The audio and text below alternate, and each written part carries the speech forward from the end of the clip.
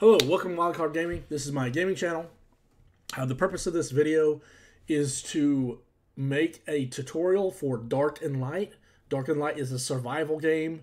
Uh, it's basically an ARK mod. Uh, it's a good standalone game on its own, but it has a very steep learning curve, and there are no good guides for this game. So we're going to rectify that today. So first thing I want to tell you, the when you zone in, so there are three races. There's human, dwarf, and elf. Each have their own main faction city, which is the, I'm human. This is the human faction city. Uh, there's no maps per se. You can create a map, but that's later on down the go. But there's no like you can't press M and a map comes up. Uh, the really the only time you get to see the map is when you die and you have to choose your spawn point, which normally you'll choose a spawn point near the city. Okay, so you're going to zone in. One of the very important things I want to tell you is do the quests. This is not a. Uh, this is like Ark. It's a. It's not a straight leveling game. Ark, you get a level, you put a point into health, you put a point in run speed, you put it, which you can't do run speed in this game. Put a point in water, whatever it is. In this game, you get two points, but you can only put one of those in each section, except for stamina. Stamina actually goes in this top section and these so it's the top five and the bottom four but you can put one in health and one in water if you wanted to which you shouldn't do any in water. Uh, one of the important parts about the quests is that some of the quests that you do will give you bonus stats that uh, will be permanent. So it's very important for you to do them. I don't know exactly which ones do that so I can't, I don't know that I can just show you. And we'll do, we'll do quests like these videos on farming and cooking and all that later. Like that's, that's a little more uh, intricate. So instead of Engram system, instead of an Engram system like you have on Ark, which you haven't played Ark, it's just a, like a talent tree kind of. They have the knowledge section. So in each, you have a bunch of different sections of, of types of knowledge, and you have to level up each time. And different activities level up different things. Now, some things, like this is the survival tab, creating some of these survival things will make survival go up. Will will give you experience in survival, which will help you unlock these ranks. Let's let's find something I don't have unlocked. Uh, riding. I don't have riding unlocked. So I only have level five riding unlocked because my uh, my brother that I play with has leveled this. Uh, because you need riding to make the saddles. So like actually the the banshee, the nidhogg that I'm riding now, I can't make that saddle yet. I either have to buy it off the vendor or have somebody else make it for me. Anyway, where's my riding? So now I have to redo where I am. Okay, but as you can see, I have a progress bar here, and it says collect hide craft saddles, or tame creatures. So doing either any of those three activities will give me a progress towards the next rank of this thing. Everything has it. Cooking, farming, uh, some of the hunting stuff, melee damage, which I'm, I'm not maxed out on melee damage yet, uh, survival, ranged. You're going to want to do these things too over time, but really, these, these are really kind of uh, their goals to work towards, like when you're not doing a quest, I want to level my ironwork. I want to make an iron building instead of a straw building or a wood building. So I'm going to go collect a bunch of iron because iron collecting iron, harvest from iron deposits and build iron structures. That's how I level iron works. So I want to build a completely iron building. So I'm going to go find all the iron that I can all over the world. Not a bad strategy.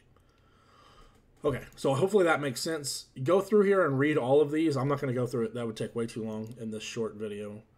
Uh, but okay, so survival. So you come in, you just like Ark, you have food, you have water needs, food needs, you have health needs, you have mind needs in this game, which you didn't in the other game. So early points, definitely health, tack if you want it. Uh, I would I would not put any in mana or constitution ever. Uh, or mana, I don't know. It depends on your game state, gameplay style. I use magic quite a bit, and I don't. I've never put points in mana, and you'll get points when you do the the quests. Okay, stamina pretty important. Just like in Ark, if you're trying to run away from dinosaurs in this game, like if you want to run away from things, you need to have stamina.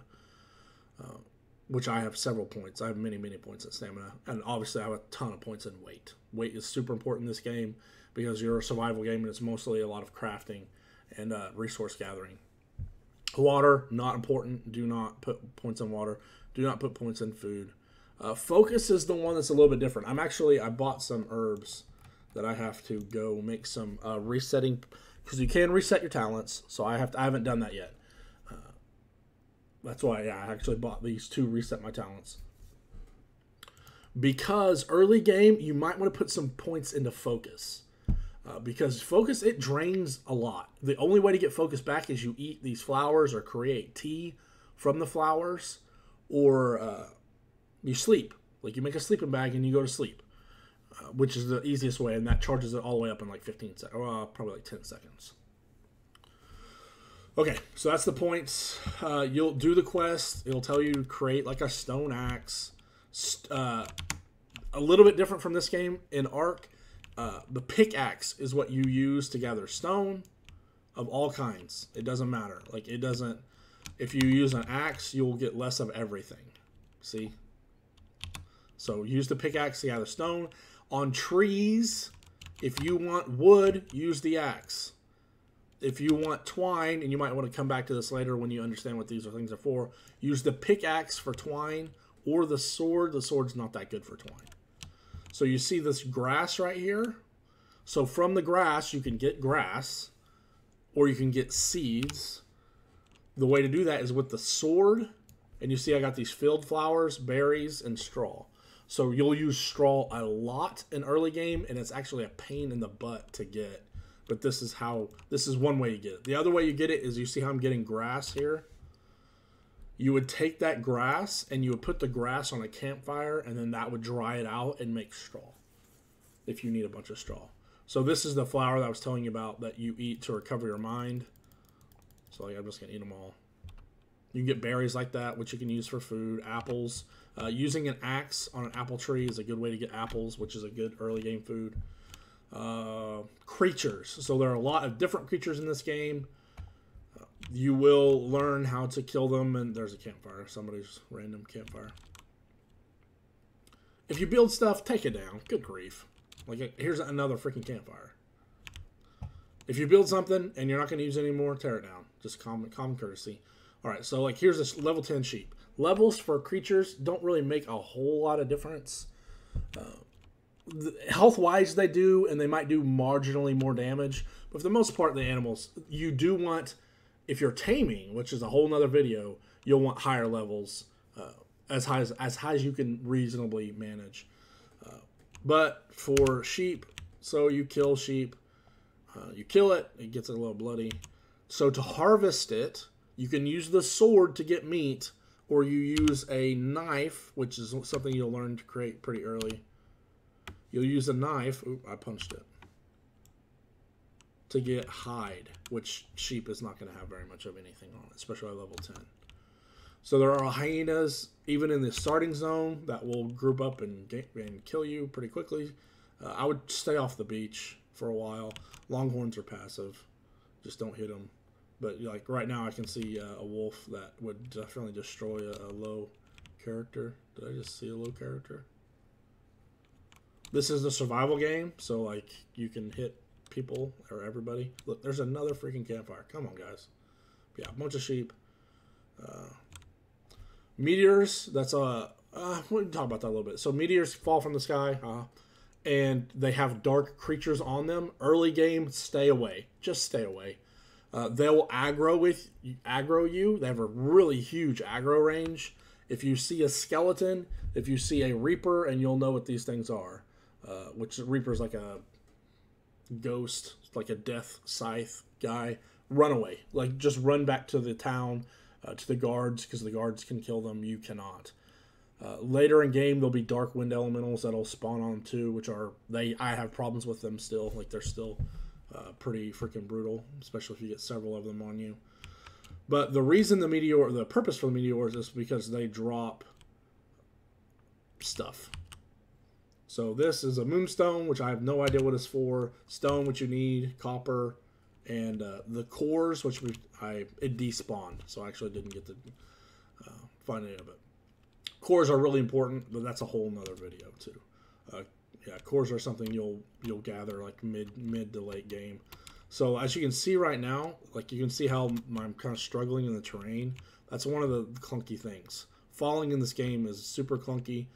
You do you can take fall damage, but you see over there, you can fall off this this hill over here. You see that hill right there behind that house? You can fall off that hill, and if it's sloped just a little bit, you won't take any fall damage. So not too bad. Uh, so one of the first things you want to do is you'll want to see there's another there's another meteor right there.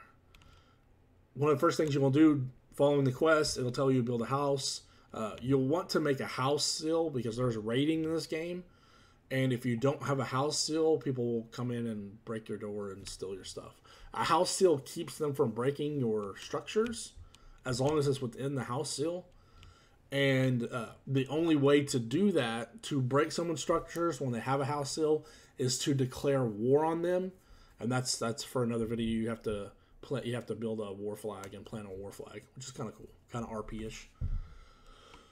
Okay, we're at 11 minutes. That's probably good. If you have any questions, let me know in the comments, and I'll make more of these videos. I'm gonna make more on like taming and and uh, some of the, the dungeon clearing and stuff like that. So uh, make sure you subscribe. Uh, I'll be putting out these videos while I'm playing the game. Uh, all right, thanks for watching.